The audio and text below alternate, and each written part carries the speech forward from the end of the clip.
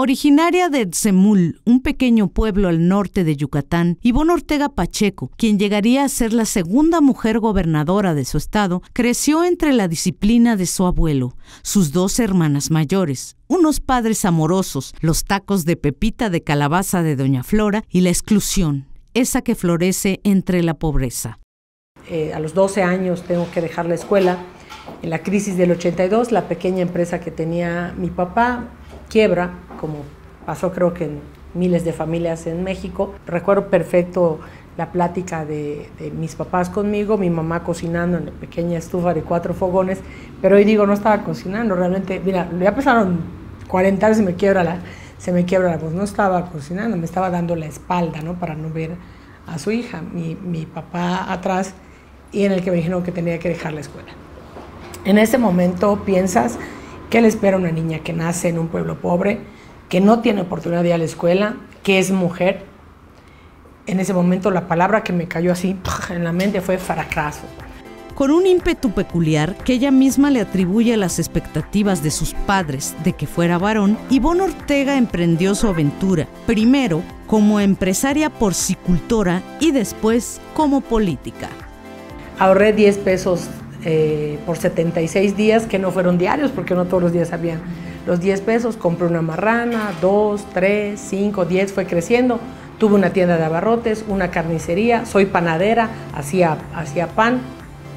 Vendía, no sé si puedo decirlo, voy a hacer promoción, Mary Kay, productos de belleza a domicilio. Lo que me sé maquillar, lo que aprendí, lo aprendí vendiendo productos de belleza a domicilio y logro una mesa en el mercado.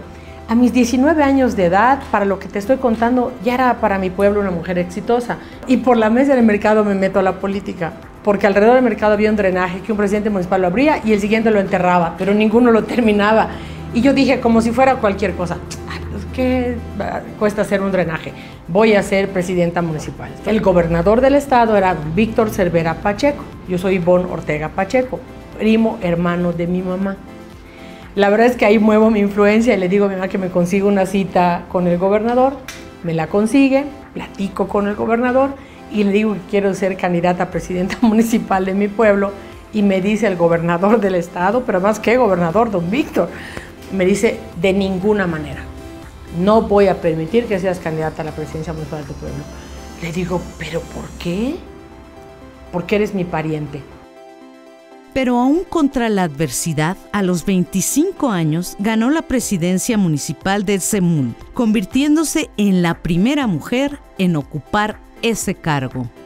Agro, por supuesto, el drenaje, que es lo que me mueve a, meterme a un colegio de bachilleres para que jóvenes que nacieran en mi pueblo no les tocara vivir lo que me tocó vivir a mí, que es no poder ir a la escuela porque no tenía dinero para el pasaje o para el transporte de mis papás. Y cuando soy gobernadora, fíjate cómo te, te educa la escuela de la vida, ¿no? Cuando soy gobernadora hago entre universidades y tecnológicos a menos de 27 kilómetros de los municipios. Estudió la secundaria y la preparatoria en sistema abierto, la licenciatura en Derecho de manera semipresencial y una maestría. Hoy cursa un doctorado en política pública comparada en la Universidad Complutense de Madrid. Sus aspiraciones profesionales crecieron a la par de sus anhelos políticos. Ivonne Ortega llegó a ser diputada local, diputada federal, senadora y a los 33 años gobernadora de Yucatán. Si tú me dirías qué es lo más importante que me ha permitido llegar donde estoy, es mi voluntad. Es mi voluntad. Yo tengo un problema de obesidad. Yo pesaba 116, 600 había hecho, tú eres mujer, había hecho la dieta de la luna, la dieta de las estrellas, la del masaje frío, la del masaje caliente. Había hecho todo para bajar de peso y no lograba. Mi aspiración a buscar la gobernatura me hizo bajar 44 kilos en nueve meses. En mayo cumplo 16 años.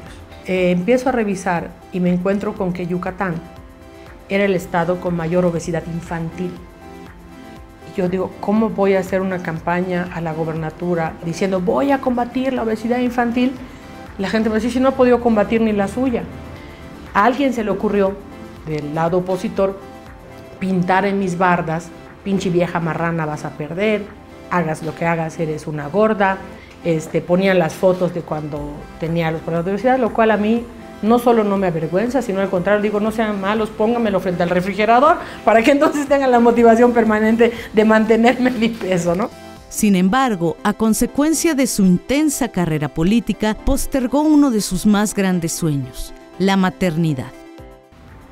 Yo creo que el que era mi novio de toda la vida, el que fue mi esposo cuando yo llego al gobierno, ya estaba listo, digamos, para acompañarme en el gobierno, ¿no? Y lamentablemente no fue así. Pasan algunas condiciones en la relación, porque no es la culpa de uno, es la culpa de los dos. Pasan condiciones en la relación, él extrema algunas eh, cosas siendo, siendo esposo de la gobernadora y yo tomo la decisión al segundo año de ser gobernadora de divorciarme. Entonces digo, ¿qué hago con aquel sueño de la mujer de querer ser mamá? Ya tenía 37 años. Entonces platico con mi ginecólogo, le digo así como, ¿qué opciones tengo para...? Y me dijo, bueno, pues te podemos inseminar, hay un proceso que se lleva. Hago todo el proceso para la inseminación, llevo todo el tratamiento hormonal y una serie de cosas que se tienen que hacer. Compro inclusive eh, el, esperma que se vende en, los bancos. Y cuando ya voy a llegar al momento real de la inseminación, de hecho es aquí en México, voy hacia el hospital, empiezan pues las cosas de las abuelas y, y si nace, ¿qué le voy a decir? Este, pues, que quién es su papá, que es una clave, este, no sé qué. Bueno, ese día le hablo al doctor, le digo, doctor, hoy no. Si cumplo 40 años y no he encontrado este, así como que donador voluntario. Entonces, este, pues sí lo llevamos a cabo. Teniendo 39, al finalcito del gobierno encuentro una persona que también quería tener un hijo y fui demostrando que el ser mujer, el ser gorda, el ser joven, el ser pueblerina, el haber tenido que estudiar de manera abierta o semipresencial, no te pone límites. Los límites te los pones tú.